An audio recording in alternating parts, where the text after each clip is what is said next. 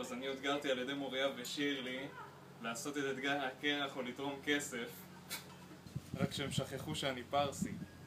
אז הדבר הזה הוא בעצם אה, לכבוד מחלת ה-ALS, שזאת אה, מחלת ניוון ש...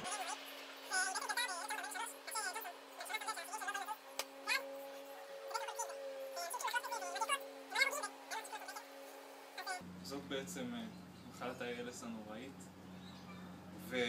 ואני רוצה להעמיד שלוש חברים שלי לאתגר הזה, או שיתרמו כסף, אני לא מעניין אותי כל כך. אני מעמיד את אה, את אורי אבירם, את לידן חיפי ואת איציק פנחסו. אז יש לכם בדיוק 24 שעות לעשות את זה, או שתתרמו מיליון דולר. בפייפל.